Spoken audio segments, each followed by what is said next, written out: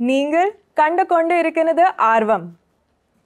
सही बोला बिल्कुल ये था you are watching Arvam in Malayalam in Malayalam पहली बार मैंने मलयालम बोलने की कोशिश करी थी. और मुश्किल था ना? बहुत मुश्किल था। हमने वर्ड्स को ब्रेकअप किया कई बार कई सारे टेक्स लिए बट आई होप मैंने सही नहीं, बोला। नहीं, बिल्कुल। वेरी वेरी अमेजिंग तो अभी I think I try bit of Gujarati ji. Same you are watching Arvam. तमे जोय राया चो आर्वम अमेजिंग ये तो मतलब सिंपल है ना कंड कुंडिर मलयालम के कंपैरिजन में सिंपल है पर आपका प्रोनाउंसिएशन भी परफेक्ट था। देखो गुजराती बन गई मैं। हाँ इतना हम सीख रहे हैं ना एक दूसरे से ये शो पे। और इसी केमिस्ट्री की आप सबने तारीफ़ करी है। बहुत सारे लोगों ने कमेंट्स छोड़े कि नुपुर और अक्षता की केमिस्ट्री बहुत अच्छी थी। तो इसी बात पे Akshata cheers thank you coffee और चाय है और कुछ नहीं। अनफॉर्चुनेटली अनफॉर्चुनेटली नए आरवम के एपिसोड में आप सबका स्वागत है। पिछली बार आपने बहुत सारा प्यार दिया उसके लिए धन्यवाद बहुत बहुत शुक्रिया। और इस बार हम बता देते हैं कि आज की स्टोरीज क्या होने वाली है। आरवम का मतलब होता है तमिल में क्यूरियोसिटी तो नॉर्थ इंडिया में साउथ इंडियन स्टेट्स को लेकर बहुत सारी क्यूरियोसिटी है मुझमें भी है। तो शुरुआत करेंगे केरला से। अडानी जो है अडानी कंपनी वो पोर्ट बना रही है केरला में। आ, और उसका वो जो पोर्ट है उसका करेक्ट प्रोनाउंसिएशन अक्षता हमें बताएगी। पहले आगे पहले ट्राई कर लो। कर अभी तो मलयालम एक्सपर्ट हुआ। हाँ मलयालम प्रोनाउंसिएशन बता दीजिए आप मुझे। विरिंजम है। विरिंजम विरिंजम पोर्ट है ये तिरुवनंतपुरम के पास। विरिंजम हाँ तो ये जो अभी केरला में बहुत ज़्यादा इस पे डिबेट हो रहा है क्योंकि एक हफ़्ते से ज़्यादातर प्रोटेस्ट हो रहा है जो फिशरमैन है फिशरमैन को हिंदी में मछुआरे। मछुआरे प्रोटेस्ट कर रहे हैं। आ, इसकी वजह से क्योंकि ये एक सी पोर्ट है और आ, आ, बहुत डिबेट हो रहे थे बहुत सालों से 2015 से। आ, ये अदानी के खिलाफ नहीं है, जो मतलब बहुत ज़्यादा देखते हैं कि एंटी अदानी प्रोटेस्टर्स ये वैसा नहीं है। ये इसलिए कर रहे हैं मछुआरे क्योंकि उनकी लाइवलीहुड के बारे में है। आ, और उनको लगता है कि क्योंकि ये पोर्ट अभी बना रहे हैं कंस्ट्रक्ट कर रहे हैं इनके जो फिशिंग बिज़नेस है उनको अफेक्ट करेंगे और काफ़ी डेटा भी आया है इसके बारे में। तो इसकी वजह से एक हफ़्ते से इतने प्रोटेस्ट देख रहे हैं कि लैंड में प्रोटेस्ट हो रहे हैं जहाँ वो कोस्ट है आ, सी में उनके बोट लेकर वैसे भी प्रोटेस्ट कर रहे हैं। तो ये बहुत बड़ा टॉकिंग पॉइंट हुआ है केरला में। जी। तो इसी पे डिस्कशन करेंगे हम लोग। और ये जो आपने अक्षता ने बताया कि जो उनके जीवन पर असर हो रहा है, पर पर्यावरण एनवायरनमेंट पे भी असर हो रहा है, ये पोर्ट के कंस्ट्रक्शन से तो उस पर भी बात करेंगे। उसके बाद हम चलेंगे तमिलनाडु पे। आपने कहा था पिछली बार कि हमने उसके पहले नरसिम्हा रेड्डी के बारे में बात करी थी एज एन आइकॉन फिर हमने बात करी थी बसवन्ना के बारे में। इस बार हम एक फीमेल आइकॉन के बारे में बात करेंगे जयललिता जो तमिलनाडु की चीफ मिनिस्टर थी पूर्व चीफ मिनिस्टर थी उनके बारे में बात करेंगे और उनकी लाइफ के बारे में डिस्कशन करेंगे। अ, उसके बाद चलेंगे तेलंगाना पे जो जूनियर एनटीआर सुपरस्टार है if I am not wrong our young tiger बोलते हैं यंग टाइगर बोलते हैं। तो उनकी एक मीटिंग हुई थी हाल ही में अमित शाह जी के साथ जो गृह मंत्री है अभी उनके साथ मीटिंग हुई थी उस पर काफ़ी चर्चा हुई है। तो उसके बारे में हम बात करेंगे कि मीटिंग क्यों हुई थी और लोगों का क्या कहना है। आपने जो ट्वीट्स भी दिए हैं, उसके बारे में भी हम बात करेंगे। उसके बाद जो कर्नाटका में टूरिज़्म बूस्ट मिलने वाला है अभी जो चीफ मिनिस्टर बोम्माई है, उन्होंने एक चीफ टूरिज़्म का बूस्ट अनाउंस किया। तो उसके बारे में बात करेंगे और थोड़ा टूरिज़्म एंगल भी लेके आएँगे आपके लिए। और आखिरी में मूवीज़ के बारे में बात करेंगे। आप सबके, हम सब सबके चहीते जो सुपरस्टार है रजनीकांत उनकी नई मूवी का पोस्टर जारी किया गया है और कमल हसन की भी नई मूवी का पोस्टर जारी किया गया है। तो उसके बारे में हम डिटेल में डिस्कशन करेंगे और आखिरी में जैसे हम हमेशा करते हैं book recommendations movie recommendations food song recommendations करेंगे और आखिरी में आपके कॉमेंट्स भी पढ़ेंगे। तो शुरुआत करते हैं सबसे पहले टॉपिक के साथ केरला। आपने बताया कि ये जो प्रोटेस्ट चल रहा है केरला में अ, मामला काफ़ी पुराना है। पाँच साल से शायद चल रहा है पूरा मामला कि एक पोर्ट बना रहे विडिन विडिंजम। विरिन।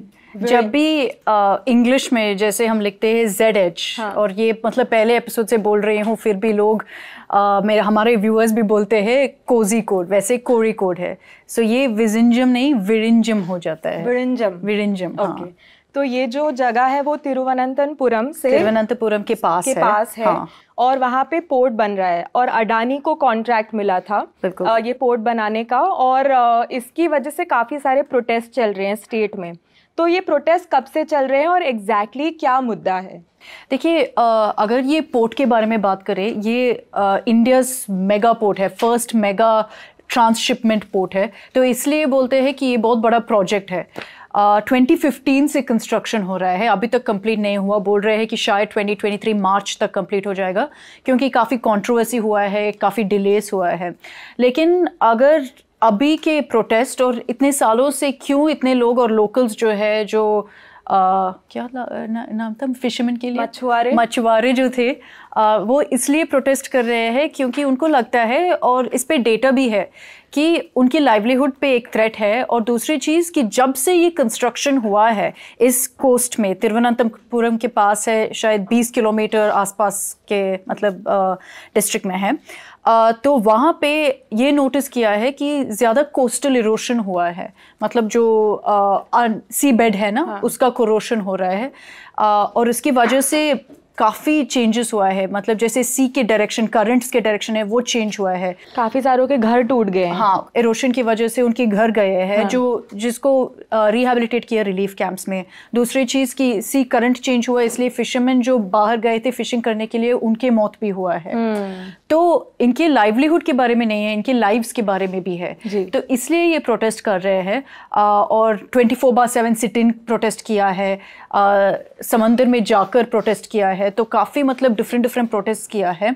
अभी अगर आप देखोगे एक स्टेलमेट जैसा है क्योंकि सरकार वहाँ पे ये भी बोल दिया कि हम डायलॉग चाहते हैं। तो उसके पहले उनकी डिमांड्स क्या है कि ये पोर्ट का कंस्ट्रक्शन रोक दिया जाए? अभी इमीडिएटली स्टॉप कर लीजिए। हॉल्ट करने के लिए बोल रहे हैं। Okay. एक डिमांड वो है।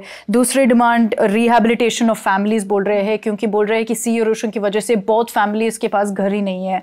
और वो बोल रहे हैं कि कंस्ट्रक्शन को हॉल्ट करो और एक फ्रेश एनवायरमेंटल टेस्ट कर लो सर्वे कर लो स्टडी करो। हाँ, हाँ तो अगर उसमें क्लियरेंस मिल जाता है तो ठीक है लेकिन अगर कोस्टल इरोशन कंफर्म्ड है तो बंद कर लो प्रोजेक्ट को। ठीक है। आ, और मतलब बहुत ज़्यादा डिमांड्स है फिनेंशियल हेल्प चाहिए उनको कॉम्पनसेशन हम्म। चाहिए केरोसिन सब्सिडी चाहिए। आ, तो दो पॉइंट पे अभी सरकार अलाउ नहीं कर रहे हैं। एक है ये केरोसिन सब्सिडी दूसरे बोल रहे हैं कि ये कंस्ट्रक्शन अभी मतलब हॉल्ट नहीं कर सकते हैं। तो ये दोनों चीज़ पे बहुत ज़्यादा प्रॉब्लम्स हो रहा है क्योंकि फिशरमैन बोल रहे हैं कि हम मतलब इस ये सब डिमांड्स चाहिए हमको नहीं तो हम बंद नहीं करवाएँगे। हम्म। और इसकी वजह से मुख्यमंत्री जो है केरला में पिनराई विजयन है। पिनराई विजयन ने असेंबली में ये भी बोल दिया कि उनको लगता है कि ये जितना भी प्रोटेस्ट हो रहा है ये सब मोटिवेटेड है। कि ये अच्छा। स्टेज्ड है कि कोई मतलब इन्फ्लुएंस कर रहे हैं ये लोगों को कि प्रोटेस्ट करे ऐसे बिल्कुल इतना बड़ा सा एजिटेशन मतलब जो ऑपोजिट पॉलिटिकल पार्टी है वो पॉलिटिकल है कि नहीं वो पता नहीं लेकिन मोटिवेशन मोटिवेटेड प्रोटेस्ट बोल रहे हैं पिनराई विजयन ने तो इसकी वजह से और मतलब गुस्सा हो गया लोगों हम्म। में के बीच में कि आप मानते नहीं हो कि प्रॉब्लम ही है यहाँ पे आ, अभी तक कंस्ट्रक्शन चालू है ऐसा कुछ बंद नहीं किया आ, क्योंकि केरला गवर्नमेंट के ऊपर अगर आप देखोगे और ऐसे सवाल भी आएँगे कि इतना ज़्यादा गुस्सा है, फिर भी क्यों कर रहे हो ऐसे प्रोजेक्ट? क्योंकि अगर अभी बंद करते हैं तो उनके लॉसेस शायद ये प्रोजेक्ट ही 7500 करोड़ प्रोजेक्ट है हम्म। तो उनके लॉसेस थाउजेंड्स ऑफ़ करोड़ में जाएगा इसलिए अभी तो बिल्कुल बंद नहीं कर सकते हैं क्योंकि केरला की इकोनॉमी पे बड़ा असर होगा हम्म। और दूसरी चीज़ पॉलिटिकली भी एक मैसेज भेजना है क्योंकि ऑपोजिशन इसके ऊपर आ रहा है और वैसे भी अगर आप देखोगे कि ये जो मछुआरे हैं हम्म। इनके प्रोटेस्ट में कांग्रेस और जितने भी ऑपोजिशन हैं उन्हें भी ट्राई किया थोड़ा एंटर करने के लिए। लेकिन ये जो फिशमैन है, वो बोल दिया कि हमको पॉलिटिकल सपोर्ट कुछ नहीं चाहिए कुछ साइड से। तो उस जो भी जितने भी कांग्रेस लीडर्स आए थे उनको भी बाहर भेज दिया। हम्म। और कांग्रेस ये भी बोल रहे हैं कि इसमें थोड़ा सा करप्शन के चार्जेस भी लेवल कर रहे हैं पिनराई विजयन सरकार के खिलाफ। बोल रहे हैं कि जो कॉन्ट्रैक्ट अवार्ड किया अपने अदानी ग्रुप को उसमें थोड़ा करप्शन है। बट इसमें तो जब ओमान चांडी जब चीफ मिनिस्टर थे ये 2015 से चल रहा है ये प्रोजेक्ट हम्म, हम्म। तो आ, तब से ओमान चांडी जब चीफ मिनिस्टर थे तब ये कॉन्ट्रैक्ट अवार्ड किया गया चांडी था। Chief minister. हाँ. अगर आप देखोगे ये जो एलिगेशन है हाँ. वो बोल रहे हैं कि अभी जो कंस्ट्रक्शन के कॉस्ट है उसमें किकबैक्स मिल रहे हैं। अच्छा। उसमें करप्शन है। तो बोल रहे हैं कि थाउजेंड्स ऑफ़ क्रोर्स अभी इनको जा रहे हैं। सो so, वो पूरा कंट्रोवर्सी अभी पॉलिटिकल भी हुआ है। इसकी वजह से शायद सरकार एक्शन नहीं ले रहे हैं। हम्म। जैसे फिशरमैन बोल रहे हैं कि स्टॉप करो ब्लॉक करो। हम्म। वो अभी नहीं हो रहा है तो इसकी वजह से बहुत ज़्यादा प्रोटेस्ट हो रहा है। अगर आप देखोगे और, और काफ़ी क्वेश्चन ये भी है कि क्या क्लियरेंस मिला है एनवायरमेंटल क्लियरेंस क्योंकि कोस्टल इरोशन तो बोल रहे हैं कि हुआ है। पिनराई विजयन सरकार के केरला लेजिस्लेटिव असेंबली ने भी बोल दिया कि आ, हाँ शायद सौ फैमिलीज़ को दिक्कत हुआ है लेकिन जो आर्च डायोसिस है वहाँ पे जो लीड कर रहे हैं ये प्रोटेस्ट उन्हें को यही बोलना है कि एटलीस्ट 600 फैमिलीज़ को एक साल में हम्म। उनके घर गए हैं कोस्टल हम्म। इरोशन की वजह से वो वो बहुत बड़ा नंबर है आ, तो पिनराई विजयन मान रहे हैं कि 100 हो गया उसके बाद हमको डेटा उतना नहीं है सो हम्म। uh, so अगर इतने नंबर्स है तो क्वेश्चन ये उठता है कि एनवायरमेंटल क्लियरेंस है कि नहीं है कि नहीं तो 2011 में एक्चुअली क्लियरेंस दिया था लेकिन अगर आप देखोगे एटलीस्ट यही प्रोटेस्टर्स बोलते हैं और जो भी एक्टिविस्ट है बोलते हैं कि क्लियरेंस दिया था कोस्टल इरोशन नहीं देखा। सी इरोशन के बारे में उतना स्टडी नहीं किया इसलिए बोल रहे हैं कि वापस स्टडी करो हम्म। वापस एक रिपोर्ट भेजो उसके ऊपर। अच्छा। तो इसकी वजह से बहुत ज़्यादा दिक्कत सरकार को हो रहा है और अब तक प्रोटेस्ट मतलब अभी भी हो रहा है क्योंकि कुछ ब्रेक थ्रू नहीं मिला है इस पर बट हम्म, अगर आपने भी पढ़ा होगा इसके बारे में कि हम्म। ये प्रोजेक्ट के जो एडवांटेजेस हैं क्या वो डिसएडवांटेजेस से ज़्यादा है? बिकॉज़ कोई भी प्रोजेक्ट का सक्सेस आप तभी नाप सकते हैं जब आ, उसके एडवांटेजेस डिसएडवांटेजेस से ज़्यादा हो। लोगों हम्म, को हम्म, उससे हम्म। ज़्यादा फ़ायदा हो रहा हो नुकसान से ज़्यादा फ़ायदा हो रहा हो। देखो ये एक्चुअली एक पॉइंट था जो केरला मुख्यमंत्री ने भी बोला था कि अगर हम अभी बंद कर लेते हैं रोक कर लेते हैं इस प्रोजेक्ट को it's unfair to the future generations क्योंकि ये इसके लॉन्ग टर्म बेनिफिट्स होगा। आ, ये मतलब एक बेसिक डिबेट पे आते हैं डेवलपमेंट वर्सेस लाइवलीहुड या डेवलपमेंट वर्सेस एनवायरमेंटल केयर वैसे। तो प्रॉब्लम ये है कि दोनों साइड जो है, दोनों एक्सट्रीम पे है। अब तक जो ब्रेक थ्रू शायद आइडियल ब्रेक थ्रू यही होगा कि प्रोजेक्ट जा सक फॉरवर्ड हो सकता है लेकिन ये जो यहाँ पे जो फिशर फोक है उनके कुछ प्रॉब्लम नहीं होता है। और दूसरी चीज़ कि एनवायरमेंटल क्लियरेंसेस हम्म। कुछ प्रॉब्लम नहीं होता है। लेकिन वो तो आइडियल टॉक है और वो बिल्कुल नहीं हो सकता है अभी। आ, अगर आप देखोगे पिनराई विजयन सरकार के खिलाफ Uh, बहुत ज़्यादा एलिगेशंस भी है क्योंकि ये सिर्फ़ कोस्टल इरोशन या हमारे सी बेड तिरुवनंतपुरम के सी बेड के बारे में नहीं है। uh, और क्लियरेंसेस भी मिला है जैसे कि अदानी ग्रुप को ग्रेनाइट चाहिए था इस प्रोजेक्ट के लिए हम्म। तो उनके लिए परमिशन दे दिया वेस्टर्न घाट से ये माइनिंग करने के लिए हम्म। तो उसका एनवायरमेंटल हार्म के बारे में बोल रहे थे। वैसे कि वाटर सप्लाई का भी जो वेस्टर्न घाट से आता है दो जगह से नैयार और पेपारा से और ये वाटर सप्लाई क्रूशल है केरला के लिए तो अगर ऐसे अलाउ करते हैं ग्रेनाइट क्वारिंग और माइनिंग को उस पर भी प्रॉब्लम हो जाता है दिक्कत हो जाता है। तो इसका गो अहेड भी पिनराई विजयन सरकार ने दे दिया। इसकी वजह से उस पर भी कंट्रोवर्सी हो रहा है। पर लेकिन जैसे आपने बोल दिया कि हम ये नहीं बोल रहे हैं कि जो प्रोटेस्ट है वो सही है। पिनराई विजयन की भी बात यह है कि फ्यूचर जनरेशन को भी देखो हम डेवलपमेंट हॉल्ट नहीं कर सकते हैं। ये प्रोजेक्ट 2015 से बात कर रहे हैं इतने डिले हो गया अभी तो करना पड़ेगा। जी। वही मैसेज है सरकार से इस पे।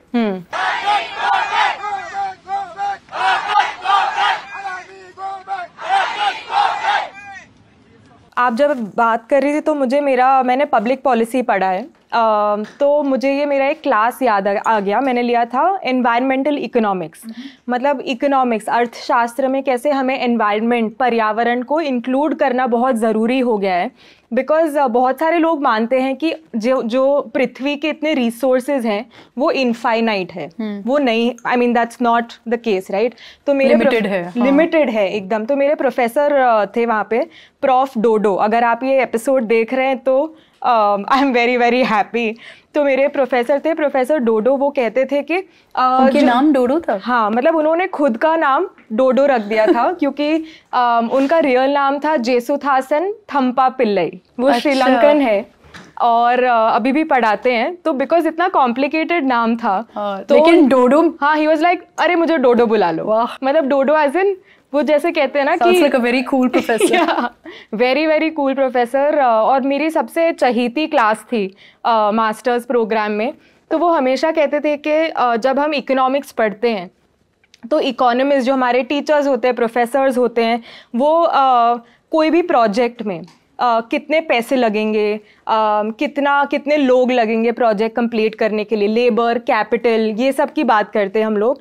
पर इकोनॉमिस्ट बहुत ज़रूरी बात भूल जाते हैं। इसमें एनवायरनमेंट ऐड करने की बहुत ज़्यादा ज़रूरत है अब ये ये जो प्रॉब्लम है केरला में शायद हर स्टेट में ऐसे ही कुछ exactly. ना कुछ प्रोजेक्ट में प्रॉब्लम आप जैसे गुजरात भी है नर्मदा जो डैम का हो रहा था प्रोजेक्ट हाँ. उसमें भी कितने सारे इश्यूज़ मतलब कितने सारे प्रोटेस्ट हुए थे एनवायरमेंटल इश्यूज़ पे हाँ, वो तमिलनाडु में सेलम एक्सप्रेस वे पे है हाँ. तो मतलब अगर हम शुरू कर लेते हैं ना हर स्टेट में एटलीस्ट एक ऐसे प्रोजेक्ट होगा जिसपे प्रॉब्लम है। मेरे मतलब अभी पोलावरम प्रोजेक्ट के बारे में भी याद आ रहा है।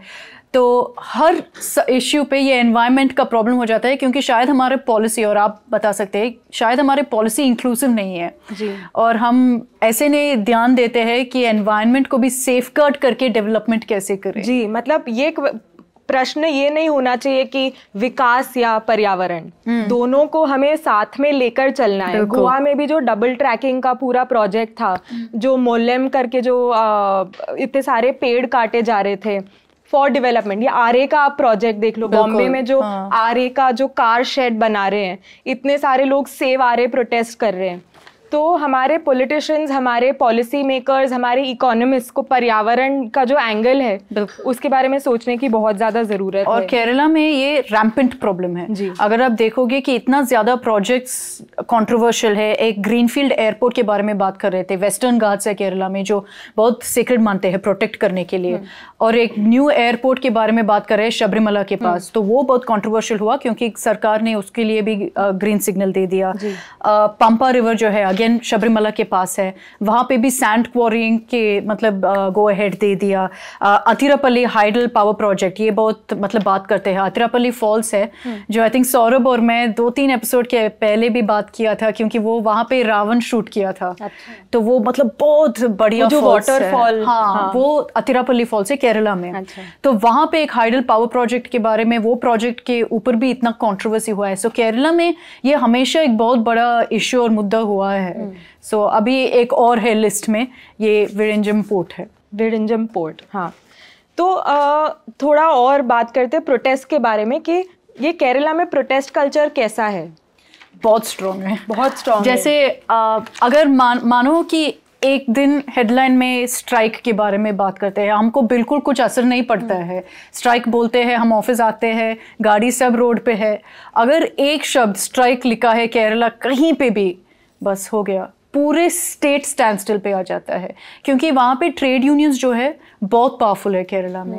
आ, हम्म। अगर आप देखोगे ज़्यादातर पॉलिटिकल लीडर्स केरला में वो सब ट्रेड यूनियन से ऊपर आए। वुमेन चैंडी एक है।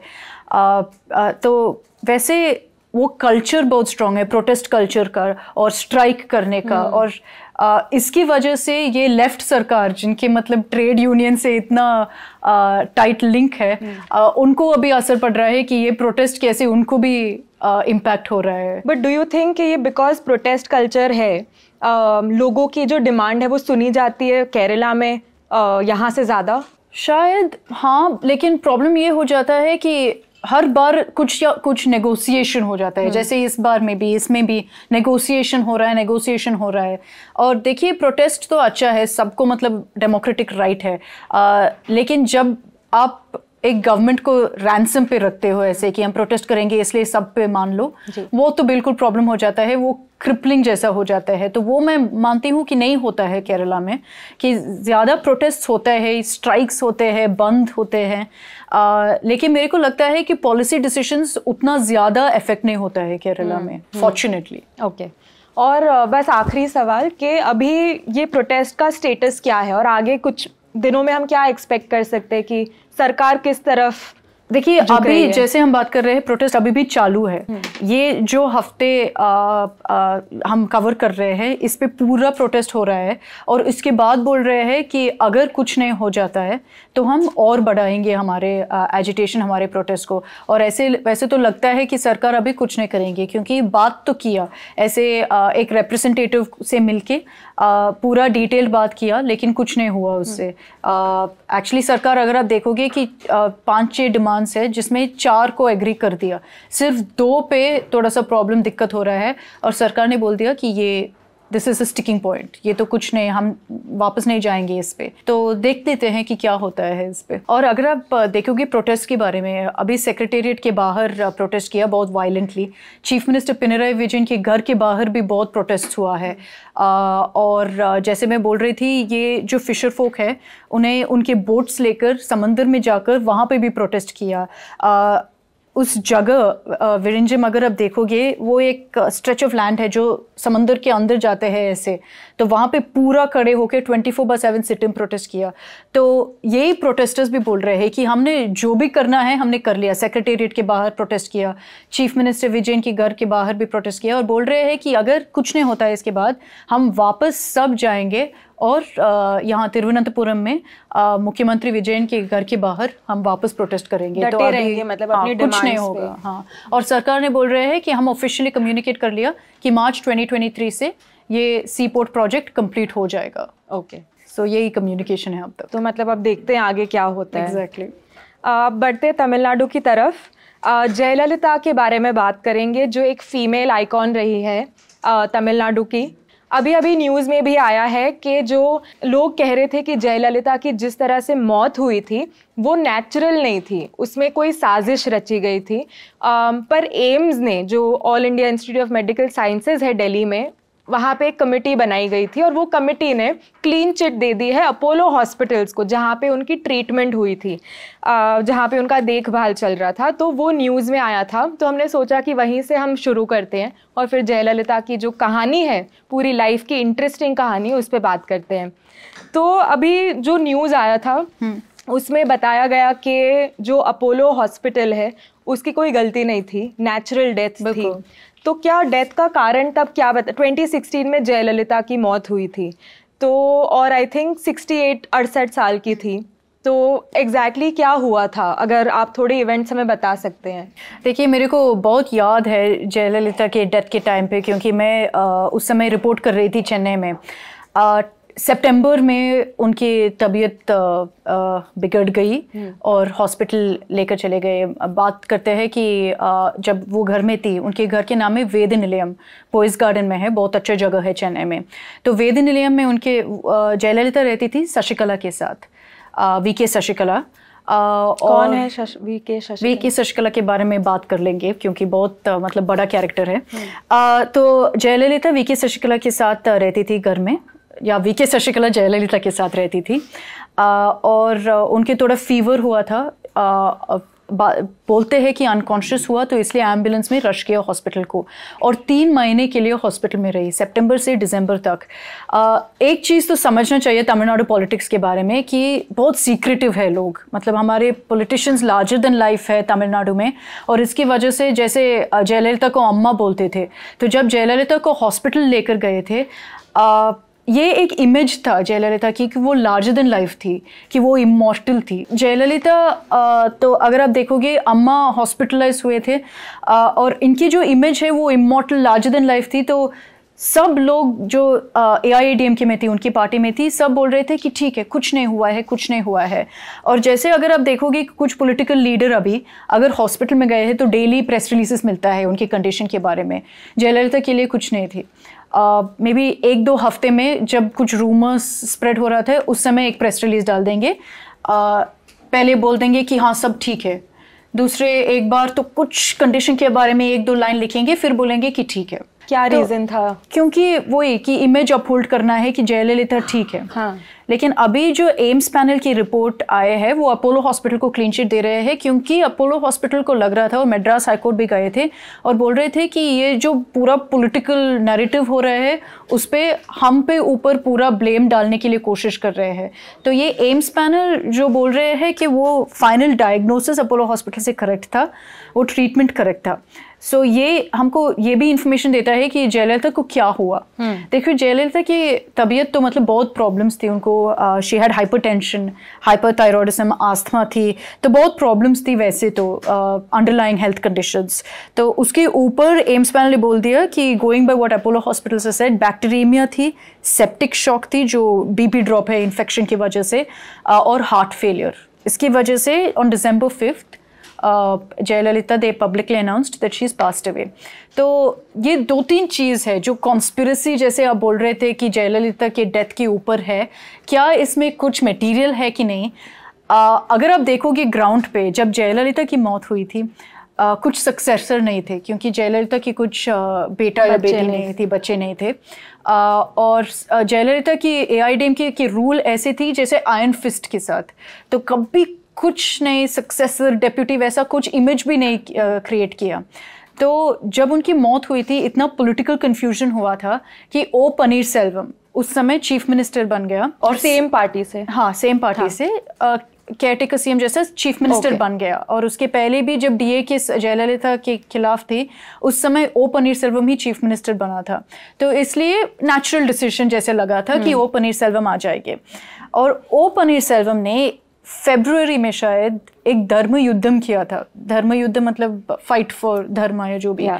और ये जयललिता के मेमोरियल में किया था और जो इमेज है पनीर सेल्वम वहाँ बैठ के मेडिटेट कर रहा है। आ, शायद हाफ़ एन आवर के लिए ऐसे मेडिटेट किया और वो पिक्चर अभी भी वायरल है तमिलनाडु में क्योंकि वो एक डिफाइनिंग मोमेंट था तमिलनाडु पॉलिटिक्स में।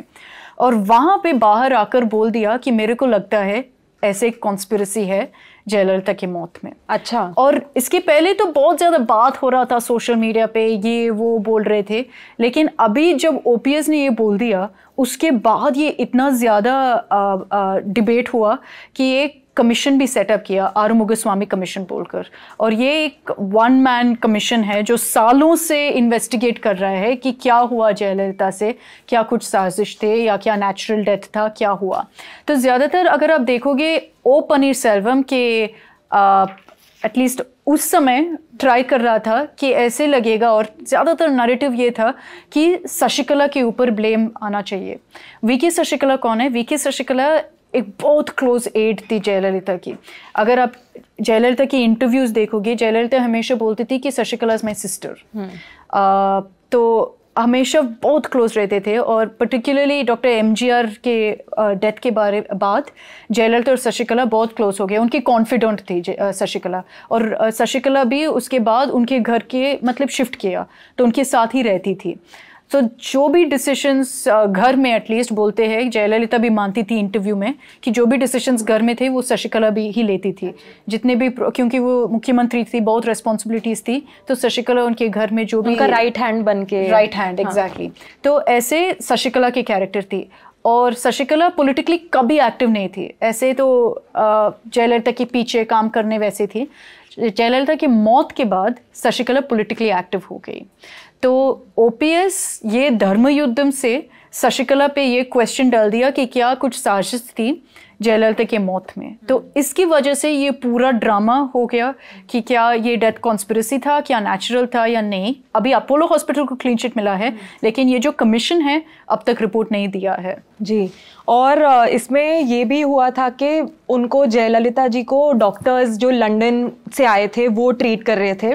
और इतनी ज़्यादा बहस एक पॉइंट पे बढ़ गई थी कि वो लंदन के डॉक्टर्स को आके भी प्रेस कॉन्फ्रेंस करनी पड़ी थी। कुछ प्रॉब्लम कुछ प्रॉब्लम नहीं नहीं है ये दो तीन वजह से है। हम्म। एक तो उस समय ज़्यादातर लोग बोल रहे थे कि जयललिता क्यों सिंगापुर नहीं जा रहे हैं या यूके नहीं जा रहे हैं शायद डॉक्टर सुब्रमण्यम स्वामी ने ट्वीट किया हाँ, था। डॉक्टर स्वामी तो मतलब डीए केस में भी पिटिशन फ़ाइल किया हाँ, जयललिता के खिलाफ। आपको जाना चाहिए सिंगापुर अपनी ट्रीटमेंट करवाने के लिए। लेकिन वो हाँ ए आई ने बोल दिया कि बिल्कुल ऐसा कुछ नहीं हैं। उस पॉइंट पे भी आई के ने बोल दिया कुछ सीरियस नहीं है। हम्म। तो वो इसके बारे में मैं बात कर रही थी। दूसरी चीज़ ये था कि अपोलो हॉस्पिटल्स ने ये भी बोल दिया कि अब तक जो, जब जयललिता तीन महीने के लिए हॉस्पिटल में थी, सीसीटीवी कैमरास को बंद कर दिया वहाँ पे। जिस पे भी फ्लोर में जयललिता थी, वहाँ पे बंद कर लिया सीसीटीवी कैमरा जयललिता शायद सेकेंड फ्लोर में थी आईसीयू में। और जब भी उनके कंडीशन थोड़ा ठीक हो रहे थे जनरल वार्ड शिफ्ट कर रहे थे, और उस समय जनरल वार्ड में सीसीटीवी ऑफ़ कर लेंगे। और अपोलो हॉस्पिटल बोल दिया कि ये गवर्नमेंट के डिसीज़न थे और ये पुलिस के डिसीज़न थे। हमने कुछ नहीं किया सीएमओ ने डिसीज़न ले लिया। तो इसकी वजह से और मतलब कॉन्स्पिरसी चार्जेस हो गया कि कौन जयललिता को विज़िट कर रही थी हॉस्पिटल में कौन उनकी देखभाल कर रही थी सीसीटीवी फुटेज क्यों नहीं है? इसके ऊपर एक बहुत अगली इंसिडेंट भी हुआ है तमिलनाडु पॉलिटिक्स में। आर के नगर बाईपोल था। आर के नगर जयललिता की कॉन्स्टिट्यूएंसी थी। उनकी मौत के बाद पूरा मतलब ये हो रहा था। टीटीवी दिनकरन जो है सॉरी बहुत नाम्स में डाल रही हूँ इस लेकिन कोशिश कर रही हूँ मैं एक्सप्लेन करूँ। मैं यही सोच रही हूँ कि आपको इतना याद कैसे रहता क्योंकि है? मैं ग्राउंड पे थी कवर कर रही थी ये पूरा ड्रामा जो थी। यही है एडवांटेज एक जर्नलिस्ट के होने का ये शो पे कि इतने सारे नाम याद है उनको। तो टीटीवी दिनकरन शशिकला के नेफ्यू है। हाँ. आ, और उनकी एक पार्टी अभी शुरू किया है ए एम एम के बोलकर अम्मा मक्कल मुनेत्र करगम। तो TTV Dinakaran R K Nagar से फाइट कर रहा था क्योंकि वो बोल रहे थे कि मैं जयललिता की लेगेसी ले, टेक फॉरवर्ड करूँगी वैसे।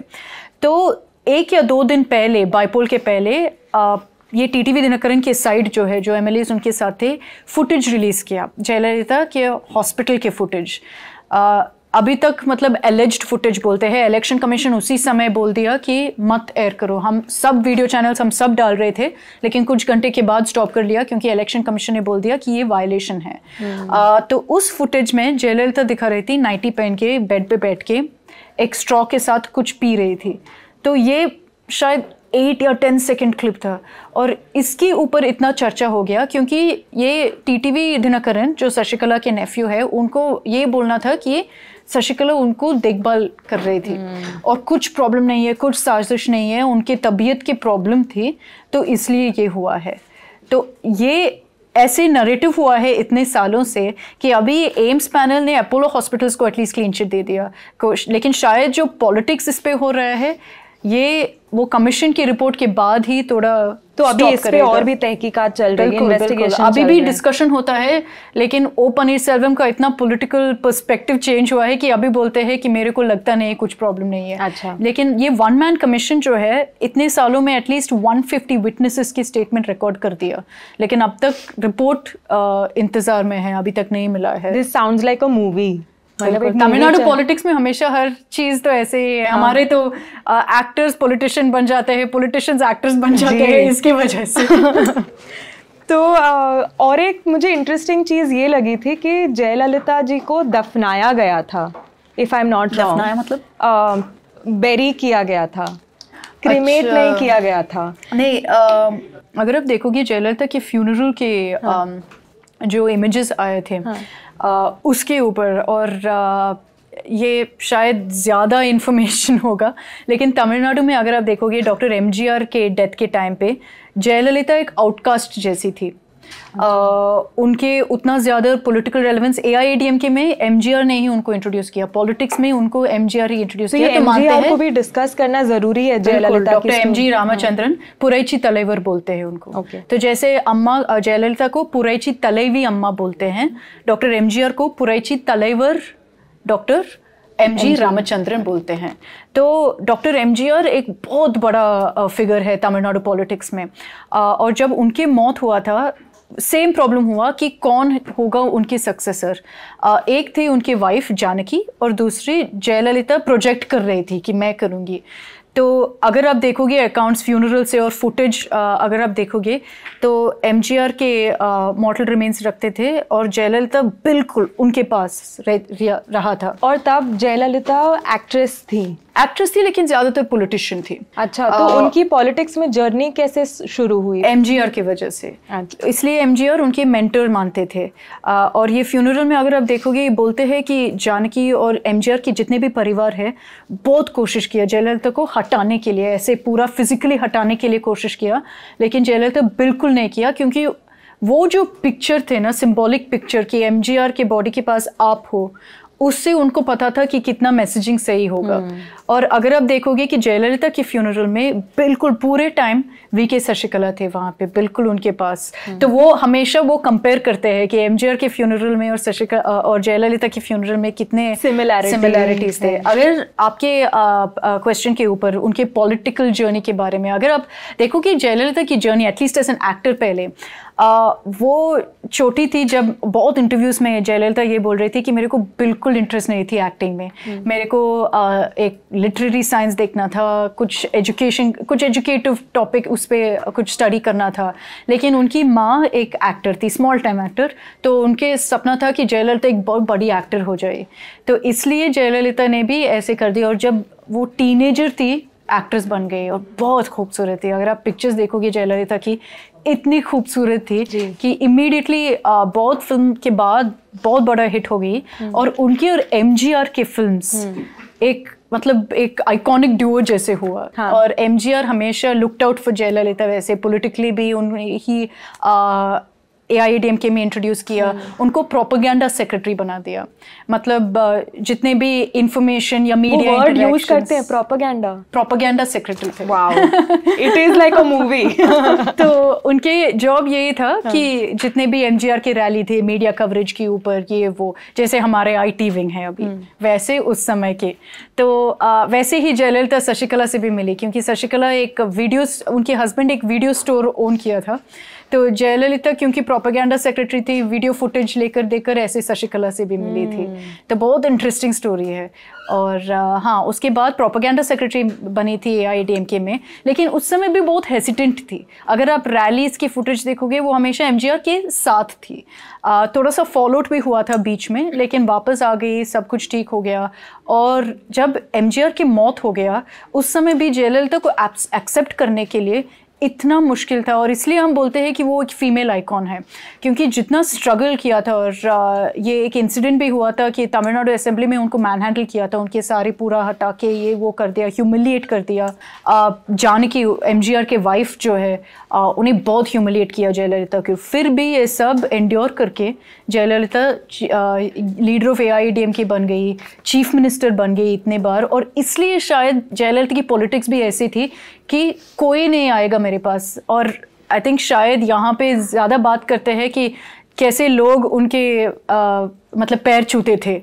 ये कल्चर जयललिता ने क्रिएट किया क्योंकि मैं यही पूछने वाली थी कि एज अ जैसे लीडर वो कैसी थी? लीडर के तौर पे कैसी थी? लोगों के प्रति उनका क्या लोगों के मतलब अगर आप देखोगे उनके अम्मा थे। अम्मा मतलब माँ। तो वैसे ही मानते थे और वैसे ही इमेज क्रिएट किया जयललिता ने। देखो बहुत करप्शन केस तो है जयललिता के खिलाफ तो मैं नहीं बोलूँगी कि वो क्लीन थी बहुत सीधा साधा पॉलिटिशियन थी वैसा नहीं।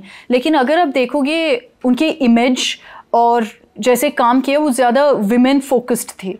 तो अम्मा कैंटीन अन्ना अम्मा उनवगम बोलते हैं वहाँ पे।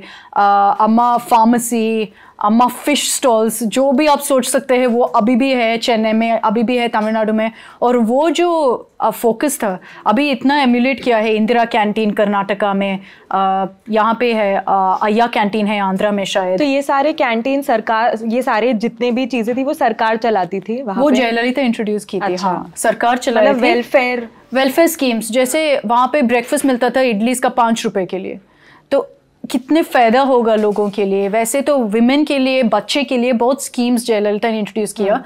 उससे और ये इमेज पार्टी के अंदर की मतलब मैं मतलब आई एम सुप्रीम तो वो इमेज के ऊपर ही इसलिए उनको वो टाइटल मिला है पुराइची तलेवी अम्मा इसलिए। और जो लोग उनको अपोज करते हैं ये तो मतलब सारे उनके अच्छे काम हो गए सपोर्ट हो गया पर जो इनके खिलाफ थे वो किस चीज़ के लिए खिलाफ थे? देखो तमिलनाडु में बहुत पावरफुल पॉलिटिकल पर्सनालिटीज़ थे एक समय में। जब जयललिता थी तो उनके ओपोजिंग डीएमके में कलेनियर करुणानिधि थे। अगेन लेजेंडरी पॉलिटिशियन था मास्टर विथ हिज वर्ड्स तो इट वाज और बहुत बिटर राइवलरी थे उनके uh, बीच में। अगर uh, बात करोगे उनके फैमिलीज़ के खिलाफ जयललिता तो हमेशा ऐसे दिखाती थी कि स्टैलिन एम के स्टैलिन जो करंट चीफ मिनिस्टर है उनसे थोड़ा फॉन्डनेस थी। लेकिन कलेनियर करुणानिधि और जयललिता के खिलाफ बिल्कुल मतलब actual political and personal rivals थे। और कलेनियर करुणा करुणानिधि भी बहुत पॉलिटिकल स्टॉलवर्ट था। तो तमिलनाडु पॉलिटिक्स में वो एक समय था जहाँ पे एक इतनी बड़ा पॉलिटिकल स्टॉलवर्ड्स और पर्सनालिटीज थे। कलेनियर करुणानिधि डॉक्टर एमजीआर के खिलाफ भी लड़ रहा था और फिर जयललिता के खिलाफ भी। हम्म। तो बहुत इंटरेस्टिंग पॉलिटिक्स थे तमिलनाडु में उस समय। अच्छा तो अभी जैसे छः साल हो गए हैं कि जयललिता जी की मौत हो गई तो अभी भी उन्हें क्या फीमेल आइकॉन माना जाता है स्टेट में? बिल्कुल अगर आप तमिलनाडु जाओगे और ये जैसे मैं बोल रही थी अम्मा उनवगम वहाँ पे हर जगह में अम्मा और जयललिता के पोस्टर्स ही है। हम्म। हर ए आई डी एम के इवेंट पे और हर प्रमोशन पे अम्मा के इमेज होगा। जैसे मैं बोल रही थी शशिकला और टीटीवी दिनकरन के पार्टी एएमएम के वो जयललिता के नाम पे किया है अम्मा मक्कल मुनेत्र करगम। तो वो आपको दिखाता है कि कितना रेलेवेंस था और कितना प्रॉब्लम भी हुआ क्योंकि सक्सेसर नहीं था। तो ये इस मिक्स के ऊपर अभी भी इतना प्रॉब्लम हो रहा है कि डीएमके को एडवांटेज हो रहा है क्योंकि ऑपोजिशन कोई नहीं है हम्म। ये ए आई में इतना फाइट हो रहा है कि कौन लीड करेगा लड़ाई हो रहा है ओपीएस हम्म। ओ पनीर सेल्वम और ईपीएस एडपाड़ी पळनिस्वामी के खिलाफ और फिर एएमएम के है टीटीवी दिनकरन शशिकला तो ये सब मानते हैं कि हम हैं जयललिता के एयर हम हैं उनकी लेगेसी को टेक फॉरवर्ड लेने के लिए। तो इसकी वजह से इतना प्रॉब्लम हो जाता है तमिलनाडु में। थोड़ा कॉन्ट्रोवर्शियल ओपिनियन है मेरा पर यही होता है जब हम एक व्यक्ति की पूजा करते हैं बिल्कुल। और एक आइडिया की नहीं। आई। I मीन mean, आप कह रहे हो कि सक्सेसर नहीं था या नहीं थी इसी की वजह से इतना सारा प्रॉब्लम हो गया स्टेट में तो इंडिया में जैसे हमें आदत है ना कि लोगों की हम पूजा करने लगते हैं हाँ. तो यही होता है कि you are not able to continue an idea क्योंकि वो इंसान चला गया। और वो इंटेंशनल था शायद जयललिता के लिए। इंटेंशनली एक मैसेज नहीं भेजा कि कोई और होगा। क्योंकि अगर आप देखोगे कलेनियर करुणानिधि के उनके भी बहुत बहुत टावरिंग पॉलिटिकल फिगर थे। लेकिन उनके मैसेज बहुत क्लियर था कि जब मैं जाता हूँ मेरे बेटा स्टैलिन एम के स्टैलिन नेक्स्ट लीडर uh, हो जाएगा। तो उसमें कुछ प्रॉब्लम नहीं था। लेकिन जयललिता की इंटेंशनली मैसेज थी कि क्योंकि शायद वो मतलब औरत थी और उनकी लगी कि अगर मैं किसी और को पावर दूँ प्रॉब्लम हो जाएगा। और ये रियलिटी है इंडियन पॉलिटिक्स में कि हमेशा uh, लेडी और वुमेन पॉलिटिशियंस को थोड़ा अंडरमाइन करते हैं। और इसलिए उनको लगा कि मेरे को और टफ आयन फिस्ट इमेज देने के लिए और कोई नहीं होगा एक नंबर टू भी नहीं होगा मेरे पार्टी में। इसकी वजह से प्रॉब्लम ये हीरो वर्शिप तमिलनाडु में हाँ. बहुत प्रेवलेंट है। आई एम श्योर सब जानते हैं हाँ. हमारे सुपरस्टार्स के बारे में कितना वर्शिप हो जाता है। पॉलिटिशियंस भी ऐसे ही है। अभी अगर आप देखोगे थोड़ा डाउन किया पॉलिटिक्स में। आ, क्योंकि जैसे आपका स्टॉलवर्ड पॉलिटिशियन से अभी नहीं रहे। लेकिन आ, स्टारडम में सुपर स्टारडम में वैसे तो सेम लेवल का ही एक्साइटमेंट हम्म। और क्रेज है हम्म। तो आइए अब बढ़ते हैं तेलंगाना की तरफ़ आ, बहुत ही इंटरेस्टिंग टॉपिक है ये क्योंकि जूनियर एनटीआर हम्म। एक तो मुझे ये बहुत आ, ये लग सरप्राइजिंग लगता है कि जूनियर क्यों लगाया? मतलब ये तो जो इंग्लिश या अमेरिकन लोग हाँ, होते हैं हाँ, उनके हाँ. नाम में सीनियर जूनियर किंग विलियम तो मैं वो एक्सप्लेन कर लेती हूँ। जूनियर एनटीआर मतलब junior N T Rama Rao N T Rama Rao हाँ. एक आइकॉनिक फिगर है आंध्र प्रदेश और तेलंगाना में। आ, और जूनियर एनटीआर इसलिए क्योंकि लोग बहुत मानते हैं अभी भी कि जूनियर एनटीआर बिल्कुल उनके एन टी आर जैसे लगता है। N T R N T Rama Rao उनकी ग्रैंडफादर हम्म। है। क्या ये तेलंगाना में कॉमन प्रैक्टिस है कि जूनियर या सीनियर नहीं, लगा दिया? बिल्कुल भी मैंने भी पहली बार सुना है कोई भारतीय नाम में ये। नहीं नहीं आ, ये तो बिल्कुल कॉमन नहीं है लेकिन ये जो एन टी आर फैमिली है बहुत पावरफुल है बहुत इन्फ्लुएंशियल है। और फैमिली मेंबर्स में ज़्यादा एक्टर्स भी है तो हम्म। शायद उनको फिल्मी लगा जूनियर एनटीआर हाँ, एकदम इफ़ेक्ट तो आ गया बिल्कुल। तो ये जो जूनियर एनटीआर है जैसे इन्होंने बताया वो एक सुपर सुपरस्टार हैं आरआरआर मूवी आई थी एस एस राजा मौली की। हाँ S S Rajamouli RRR सब जानते हैं। सब जानते हैं। अब तो काफ़ी नेटफ्लिक्स और ये सब पे भी पॉपुलर हो गई। तो इनके इसके मेन कैरेक्टर जो जिन्होंने प्ले किया वो जूनियर एनटीआर हैं। हम्म। और अमित शाह जो अभी के गृह मंत्री हैं वो जब गए थे तेलंगाना तो उन्होंने मीटिंग करी इनके साथ। और उसके बाद ट्विटर पे ट्वीट कर दिया तो एकदम पॉपुलर हो गया ये ट्वीट और सब कहने लगे कि ये एक पॉलिटिकल मीटिंग थी कि इसमें कुछ राजकीय पर्पस था ये मीटिंग का तो काफ़ी सारों ने अपने ओपिनियन दे दिए कि क्यों क्या ये अगले सीएम बनने वाले हैं क्योंकि इनके जो ग्रैंडफादर थे वो भी पॉलिटिक्स में थे। हम्म। तो कि क्या ये नए सीएम बनने वाले हैं? अमित शाह ने इनकी एक्टिंग की भी काफ़ी सारी आ, प्रेज उनको प्रेज कर दिया उनकी एक्टिंग को कि ये रत्न है तेलंगाना हम्म, हम्म, के। तो इस पे बात करते हैं कि आ, ये मीटिंग होना क्या आपको लगता है कि इसका कोई पॉलिटिकल पर्पस था? क्योंकि बहुत सारे लोग कह रहे हैं। कि मेरे को लगता है हंड्रेड परसेंट पोलिटिकल मैसेजिंग था। क्या वो जूनियर एनटीआर के ऊपर मैसेजिंग था हाँ. या किसी और के लिए मैसेजिंग था वो पता नहीं। मतलब किसी और के लिए मतलब? मैं एक्सप्लेन हाँ. करती हूँ। पहले तो आ, अगर आप बीजेपी से बात करोगे वो बोल रहे हैं कि कर्टसी मीट था। अमित शाह बहुत बड़ा फ़ैन है आरआरआर का। और इसलिए जूनियर एनटीआर और रामचरण दोनों से मिलना था लेकिन रामचरण बिज़ी था तो इसलिए जूनियर एनटीआर से मिला था। और डिटेल्स हमारे पास ये है कि 20 मिनट के लिए एक प्राइवेट मीटिंग था वन ऑन वन मीटिंग और फिर और बीजेपी लीडर्स आए थे, तरुण चुग थे, किशन रेड्डी थे बंटी संजय कुमार, जो तेलंगाना बीजेपी चीफ है, वो सब थे इस मीटिंग में. आ, देखो टेक इसके बारे में एक तो मैसेजिंग के ऊपर है क्योंकि तेलंगाना इलेक्शंस नेक्स्ट ईयर है Andhra Pradesh elections next next year 2024 में है। तो बीजेपी अब बहुत कोशिश कर रहे हैं कि तेलंगाना में इन रोड्स कर रहे हैं जो हम देख रहे हैं। अमित शाह जा रहे थे हैदराबाद फिर आ, ये पूरा भाग्यनगर जो योगी आदित्यनाथ प्रधानमंत्री मोदी सब बोल रहे हैं ये सब एक बहुत इंटेंशनली मैसेज जा रहे हैं। लेकिन बीजेपी बहुत कोशिश कर रहे हैं कि सदर्न स्टेट्स में इन करें और कैसे करें? पॉपुलर फेसेस को अट्रैक्ट करो। जूनियर एनटीआर क्या बीजेपी ज्वाइन कर रहा है, वो शायद फारफेच्ड होगा अभी के लिए, क्योंकि जूनियर एनटीआर की फैमिली अगर आप देखोगे, बहुत पॉलिटिकल फैमिली है टीडीपी के साथ, तेलुगु देशम पार्टी जो चंद्रबाबू नायडू हेड करता है अभी। चंद्रबाबू नायडू एनटीआर फैमिली से भी रिलेटेड है, क्योंकि उनकी wife Bhuvaneshwari N T Rama Rao की बेटी है। तो जूनियर एनटीआर उनके नेफ्यू हो जाता है ना? जी। नेफ्यू हो जाता है तो हाँ. ये जो एनटीआर थे जूनियर एनटीआर के ग्रैंडफादर दादाजी yes. उन्होंने ये टीडीपी की नींव रखी थी शुरू किया। हाँ। हाँ टीडीपी उन्हें ही शुरू किया। वो बहुत काफ़ी इंटरेस्टिंग स्टोरी है। शायद हमारे व्यूअर्स को भी पता है कि चंद्रबाबू नायडू कैसे एक कू स्टेज किया विद इन टीडीपी उनके फादर इन लॉ के खिलाफ और फिर चीफ मिनिस्टर बन गया अच्छा। था। हाँ तो जब N T Rama Rao chief minister था फिर चंद्रबाबू नायडू ने ये किया क्योंकि बहुत ज़्यादा बात कर रहे थे कि एन टी रामाराव की सेकेंड वाइफ उनको अभी लीडर बननी थी टीडीपी के।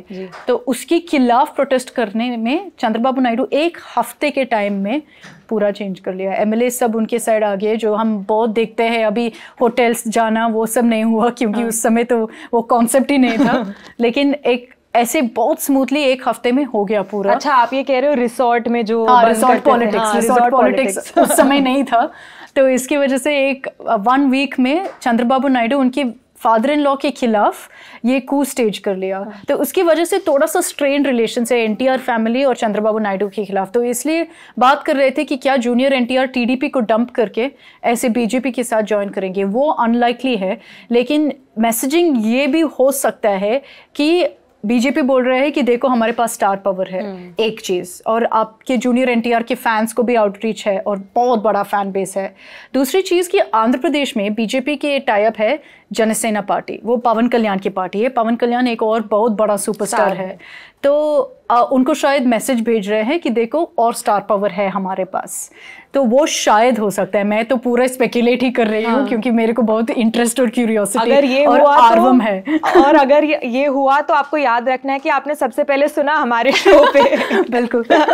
ये रिकॉर्डिंग बस रख लो एक बार। तो यही शायद इसकी वजह से हुआ है। लेकिन जूनियर एन अभी पूरे इन्वेस्टेड है उनके फ़िल्म में। वो तो हंड्रेड परसेंट क्लियर है क्योंकि लास्ट टाइम पोलिटिकली एक स्टेप लिया था वो शायद 2009 में था जब वो कैंपेन किया था टीडीपी के लिए। और फिर उसके बाद कभी पॉलिटिक्स नहीं छुआ। हम्म। तो उनके मैसेज वेरी क्लियर है कि मैं अभी फ़िल्म में फोकस करूँगी। बट फिर अगर ये होता तो फिर वो लोग ये ट्वीट पब्लिक नहीं करते ना? मतलब मुझे लगता है कि कुछ तो कौन बीजेपी या जूनियर दोनों। मतलब कुछ तो दोनों के लिए शायद हो सकता हाँ, है। फ़ायदा है दोनों हाँ. साइड के लिए। आ, और ऐसा नहीं है कि जूनियर एनटीआर बिल्कुल सील्ड है टीडीपी के साथ। आ, आ, ऐसा है कि जूनियर एनटीआर अभी उनके करियर पे फोकस कर रहे हैं लेकिन कुछ लोग तो ऐसे भी कोरस तो बढ़ा रहे हैं कि उनको टीडीपी लीड करना है। और वो चंद्रबाबु नायडू को अच्छा नहीं लगता है क्योंकि उनकी बेटे जो है नारा लोकेश उनको प्रमोट कर रहा है हम्म। कि नेक्स्ट इन लाइन वैसे। और 2009 में जूनियर एनटीआर टीडीपी के लिए कैंपेन करते हैं करा था। और कुछ मतलब ऐसे बात भी हो रहा था कि चंद्रबाबू नायडू को अच्छा नहीं लगा क्योंकि जूनियर एनटीआर बहुत क्राउड्स अट्रैक्ट कर रहा था। पॉपुलर बहुत पॉपुलर था और उनके जो लुक्स मैं बोल रही थी उनके ग्रैंडफादर से बहुत सिमिलर था। जूनियर एन टी आर से एन टी रामाराव से और बहुत पॉपुलर पॉलिटिशियन था और बहुत बड़ा एक्टर था।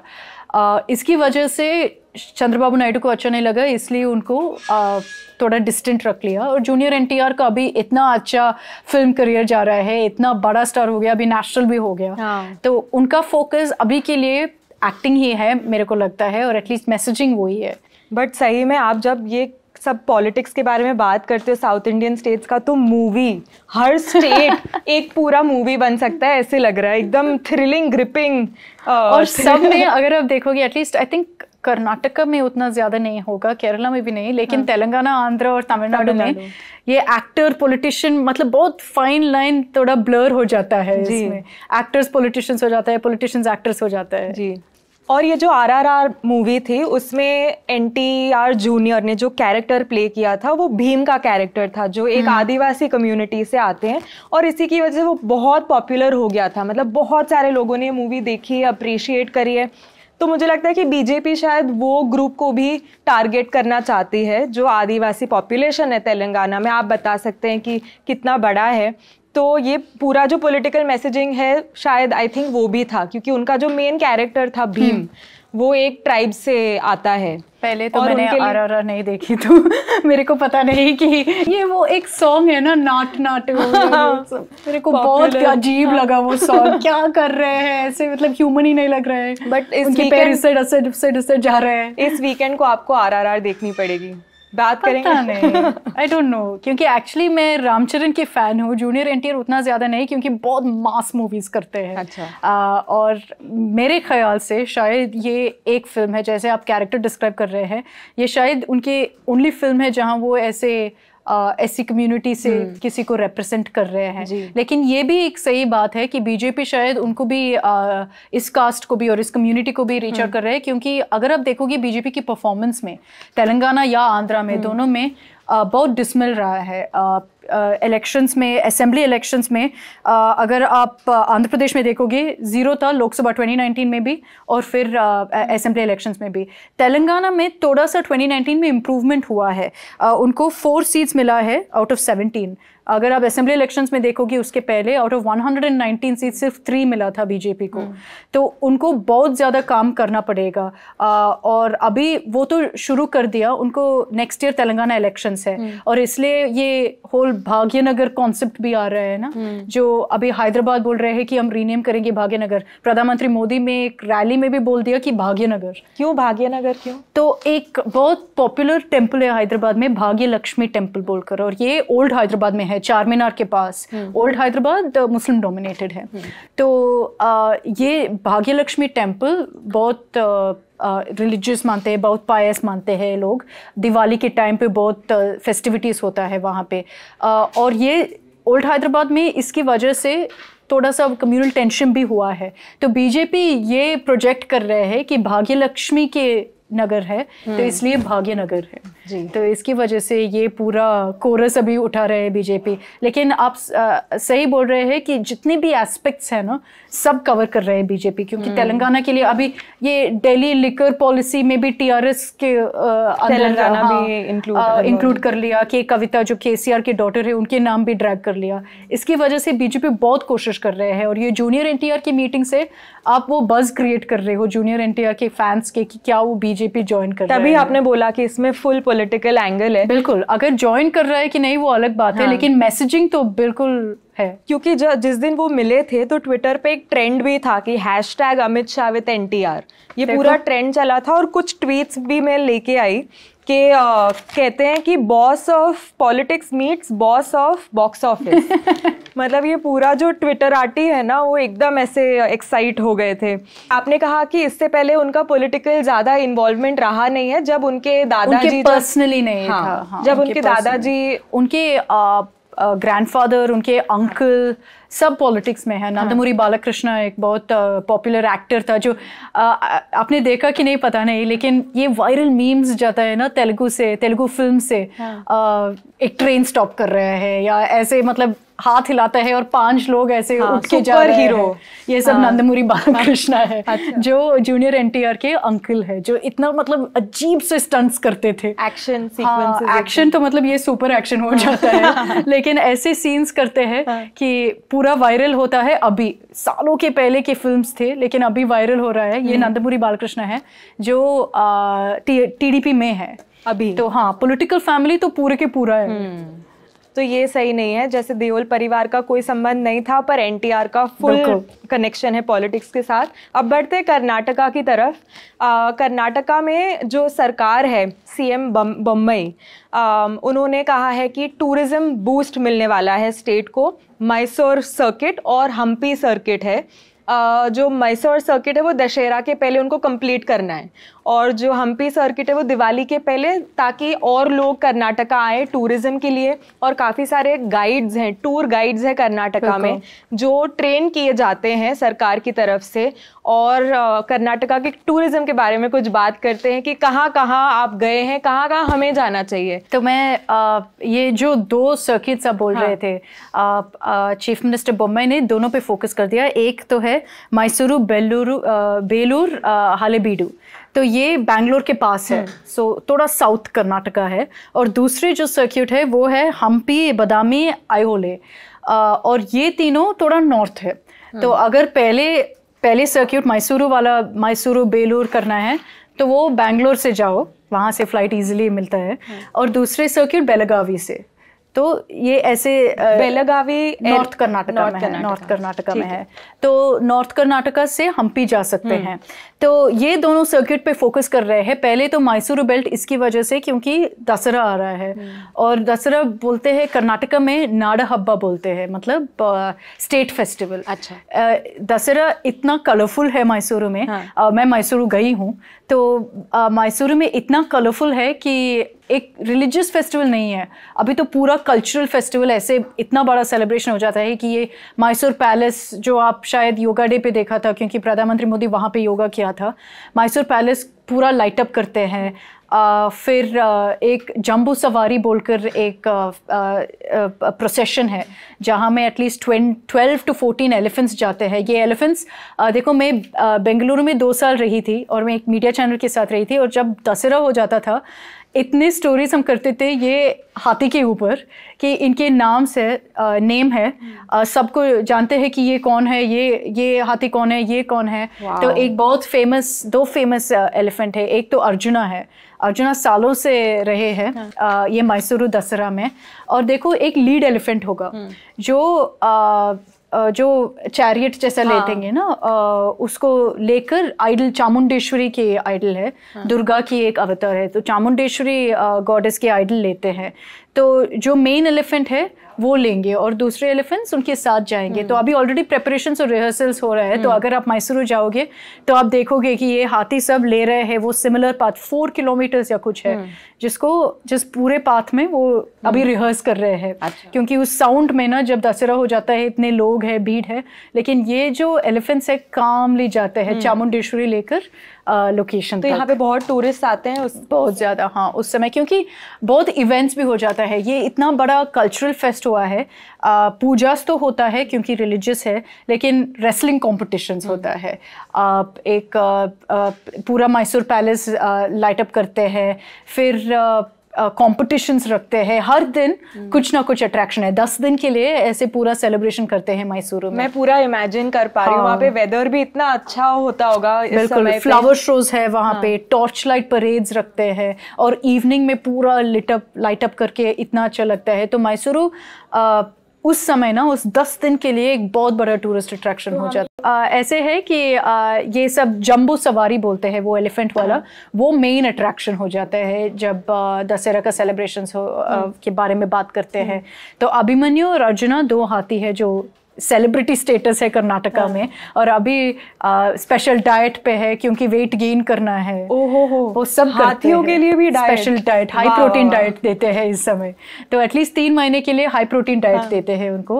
आ, और अभिमन्यु अभी ये रेस्पॉन्सिबिलिटी लिया है हाँ. कि उनके ऊपर ये गॉडेस लेकर चैरियट जाएगा। चैरियट जैसा नहीं उनके नाम में होती है। हाँ एक गोल्डन सा जो हावड़ा ना हावड़ा लेते हाँ, हैं हाँ, अच्छा तो वैसे उनके ऊपर लेते हैं अच्छा वेरी इंटरेस्टिंग एक्चुअली मैं जब पढ़ रही थी इसके बारे में तो जो पूर्व चीफ मिनिस्टर थे वहाँ के एस एम कृष्णा। उन्होंने इनफैक्ट चीफ मिनिस्टर बोम्बई को बताया कि जिस तरह सिंगापुर ने डेवलप किया मतलब सिंगापुर एक छोटा सा कंट्री है हाँ. और ज़्यादा नेचुरल रिसोर्सेज नहीं है जिस तरह वो लोगों ने डेवलप किया कर्नाटका में तो खैर बहुत सारे नेचुरल रिसोर्सेज exactly, है हाँ. तो सिंगापुर की तरह हमें डेवलप करना चाहिए क्योंकि लीकवान यू जो सिंगापुर के प्राइम मिनिस्टर थे आ, पहले प्राइम मिनिस्टर उनका पूरा आइडिया था कि इतना अट्रैक्टिव बनाओ इतना आकर्षित बनाओ कि टूरिस्ट बहुत सारे टूरिस्ट आए सिंगापुर हम्म। और पूरी जो इकोनॉमी है जो आ, उसको प्रमोट करे और चीफ मिनिस्टर बुम्बई दो हफ़्ते पहले जो हाँ। सौरभ के साथ में डिस्कस कर रहे हाँ। थे अंजनाद्री हिल्स के ऊपर भी हम्म। ये टूरिज़्म के बारे में बात कर रहे थे हम्म। अगर ये सर्क्यूट क्यों चूज़ किया और क्यों बेलूर हालेबीडू बोल रहे हैं? वो इसकी वजह से मैसूर में बोल दिया कि क्या है? हाँ. बेलूर भी बहुत पॉपुलर है। आ, ये होयसाला आर्किटेक्चर और टेम्पल्स के लिए बहुत पॉपुलर है। बोलते हैं Banaras of the south Belur को। आ, क्योंकि इतने अच्छा टेम्पल्स है। फिर हालेबीडू है। हालेबीडू में भी इतने टेम्पल्स है आर्किटेक्चर है। तो ये सब एक ही जगह एक ही रास्ता में है। आ, फिर जो दूसरे सर्क्यूट है हम्पी भी हम बहुत एक्सटेंसिवली बात किया आ, पहले एपिसोड में भी। तो हम्पी आप सब जानते हैं कि इतना अच्छा आर्किटेक्चर है यूनेस्को हेरिटेज साइट है। वहाँ से बदामी पास है। बदामी में बदामी केव्स बहुत पॉपुलर है टेंपल केव्स है जो बहुत खूबसूरत है। तो वहाँ से आईहोले जा सकते हो आईहोले भी टेंपल आर्किटेक्चर है। तो ये सब जगह इतना कल्चरली रिच है और ज़्यादातर लोग को पता भी नहीं होगा। हम्पी और मैसूर पता है लेकिन बेलूर के बारे में या आईहोले के बारे में पता भी नहीं है। तो ये फोकस ये है कि ज़्यादा अवेयरनेस क्रिएट करो हम्म। और जितनी भी जगह है कर्नाटका में उनके ऊपर भी थोड़ा फोकस करके अवेयरनेस वेबसाइट से ऑनलाइन हम्म। से स्प्रेड करने के लिए कोशिश है ठीक है तो आखिर में हम चलते हैं रजनीकांत स्टारर जो मूवी है नेल्सन ने डायरेक्ट करी है जेलर फ़िल्म हाँ. उसका पोस्टर बाहर आ गया है और कमल हसन की फ़िल्म इंडियन हाँ, टू का भी पोस्टर, पोस्टर बाहर हाँ, आ गया है। In matter of I think two three days दो पोस्टर रिलीज़ किया जिसपे हाँ, इतना ज़्यादा एक्साइटमेंट है हाँ, क्योंकि रजनीकांत कमल हासन जैसे मैं पहले बोल रही थी सुपरस्टार्स है। रजनीकांत को तलेवर बोलते हैं। कमल हासन को उलगन आयगन। तो ये नाम है उनके लिए। जेलर का पोस्टर रिलीज़ किया है और इंडियन टू। अगर आप कमल हासन फ़ैन हो तो आपको पता है कि इंडियन एक बहुत बड़ा फ़िल्म था कमल हासन के करियर में सालों पहले I think in the nineties शायद था। तो अभी इंडियन टू आ रहा है और विक्रम के बाद इतना एक्साइटमेंट है। शायद रजनीकांत के लिए थोड़ा सा फोकस है क्योंकि रजनीकांत की फ़िल्म अभी उतना अच्छा से चला नहीं। Right. दो तीन फ़िल्म थोड़ा फ्लॉप हुआ या क्रिटिकल रिव्यूज़ थोड़ा था। hmm. आ, तो जेलर तो देखेंगे कि कैसे करता hmm. है लेकिन ये दोनों पोस्टर पे इतना ज़्यादा एक्साइटमेंट है। तो हाँ तो मतलब मूवीज़ के बारे में बात करना हाँ. था रिकमेंडेशन करना तो अक्षता मूवी रिकमेंडेशन एक्चुअली देखो मैं तो थोड़े गिल्टी हूँ कि मैं हमेशा मलयालम मूवी देखती हूँ। हाँ. तो इस बार भी मैं एक मलयालम मूवी रेकमेंड करूँगी लेकिन एक और मूवी भी रेकमेंड करती हूँ। मलयालम में मैंने एक बहुत अच्छे फ़िल्म देखी हूँ हेवन बोलकर। बहुत अच्छा क्राइम थ्रिलर है। आ, तो वो देख सकते हो ओ टी पे है। वो बहुत अच्छा लगा मेरे को और मैंने वीकेंड पे ही देखी थी। आ, दूसरी तेलुगु में क्योंकि हम रामचरण के बारे में बात कर रही थी और मैं रामचरण की फ़िल्म देखती हूँ उतना ज़्यादा जूनियर एन की नहीं। हम्म। रामचरण की एक फ़िल्म है रंगस्थलम बोलकर। और रंगस्थलम में समानता भी है जो अभी इतने पॉपुलर हो गई। हाँ। तो ये रंगस्थलम फ़िल्म बहुत अच्छा है तो वो भी देख लो वो भी बहुत अच्छा मूवी तेलुगु फ़िल्म है।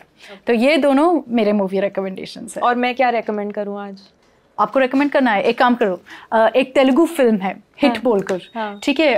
उसको हिंदी में कर रहे हैं नेटफ्लिक्स सीरीज़ हाँ, राजकुमार राव के साथ। हाँ, आ, वो बहुत अच्छे क्राइम थ्रिलर है। तो आपके रिकमेंडेशन नुपुर की रिकमेंडेशन मेरी तरफ़ से हिट है। नहीं और मैं आई थिंक बुक रिकमेंड करनी थी मुझे एक और एक फ़ूड आइटम रेकमेंड करनी थी। हाँ। तो मैंने रिसेंटली तीन चार हा, हाल में खाया था बिस्सीबेला भात? बिस्सीबेला भात बिस्सीबेला हाँ। भात कहाँ का है वो? कर्नाटका का कर्नाटका का है। तो मैंने बिस्सीबेला भात खाया था। और गरम गरम बिस्सीबेला भात ना। और घी डाला ऊपर थोड़ा तो डालते हैं हाँ। और क्रंची मतलब मिक्सचर के साथ खाते हैं या कुछ तो क्रंची एलिमेंट के हाँ। साथ खाते हैं बहुत अच्छा और तब मुझे थोड़ा जुकाम हो गया था तो वो गरम हाँ, गरम मैंने खाया मुझे वो रसम जैसा है थोड़ा हाँ। मतलब कंफर्ट फ़ूड है। मुझे पेपर रसम खाने का मन हो गया।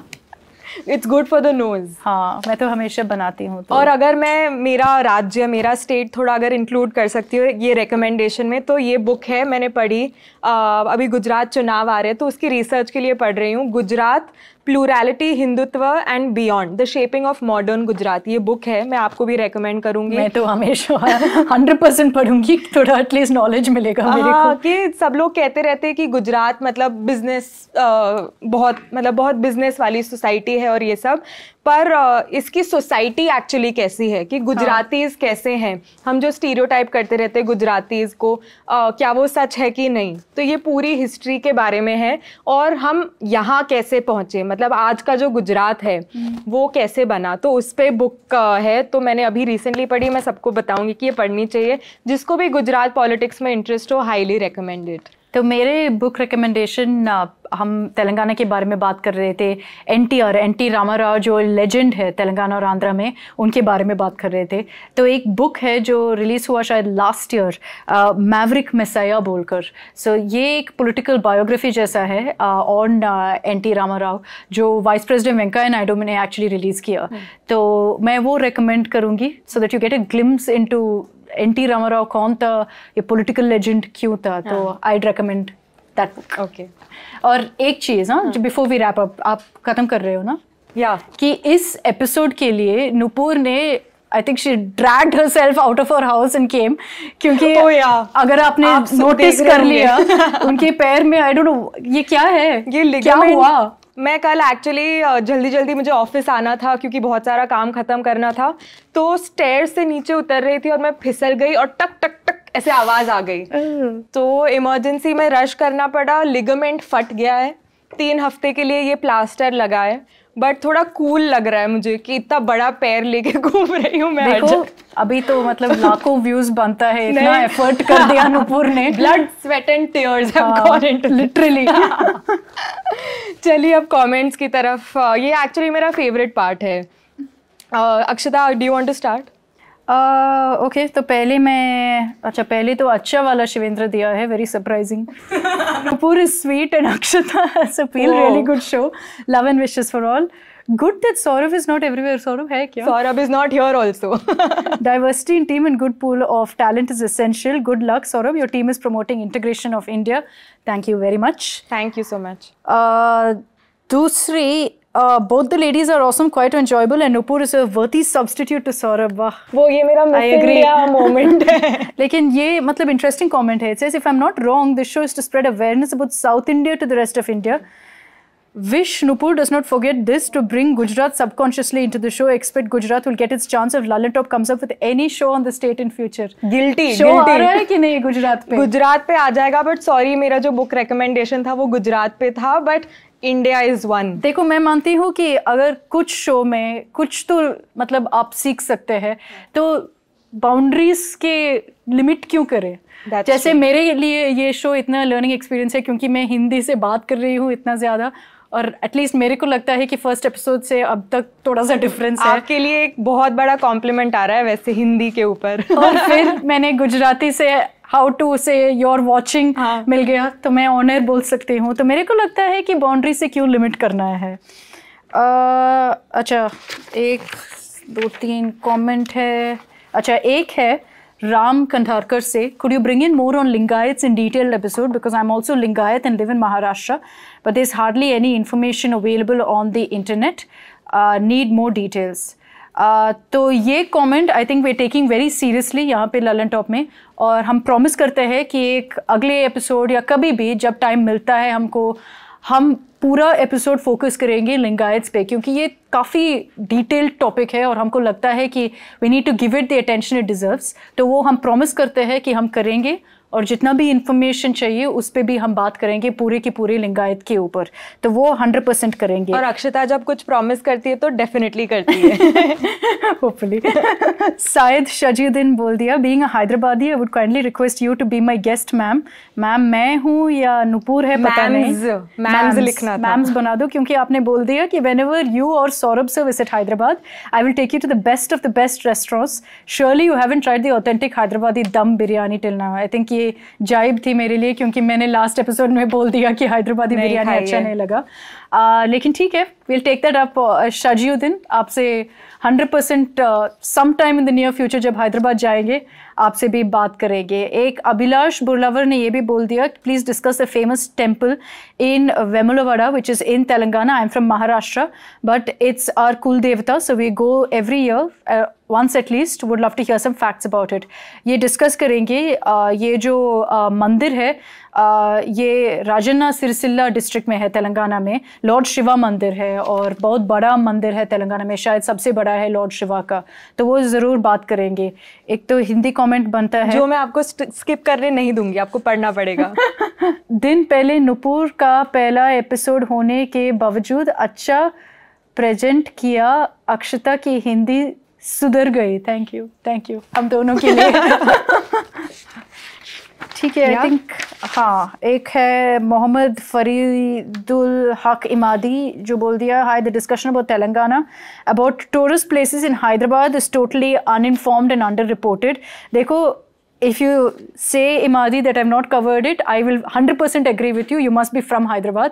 और वैसे तो मैं हैदराबाद गई हूँ लेकिन मेरे रिलेटिव्स है तो इतना टूरिस्टी जगह में जाती नहीं हूँ आपने एक लिस्ट भी दिया है Falaknuma palace Salar Jung museum Nehru zoological park Birla planetarium मेरे को एक ऐड करना है क्योंकि हैदराबाद में इतना क्रेज़ हुआ है आइकिया एक टूरिस्ट जगह जैसे हो गया है हैदराबाद में तो मैं उस लिस्ट में जो आपने दिया है उस पर एक ऐड करती हूँ बस ठीक है अब रामानुज जयदेव कहते हैं नम गुजराती में लिखा है बहुत अच्छा लगा यहाँ पे गुजराती पढ़ के नमस्ते नुपुर મારું કેવું છે કે આરવમમાં ગુજરાત વિશે પણ પાંચથી દસ મિનિટ કવર કરો તો ખૂબ જ સારું कह रहे हैं कि पाँच से दस मिनट गुजरात का भी करें हाँ बट रामानुज भाई आना ऊपर हमें बीजो शो करसू दूसरा शो करेंगे आरवम हम कोशिश कर रहे हैं कि साउथ इंडियन स्टेट्स पे हमारा थोड़ा सा गुजराती फ्लेवर गुजरात डेफिनेटली ज्या ज्या गुजराती त्या त्या गुजरात।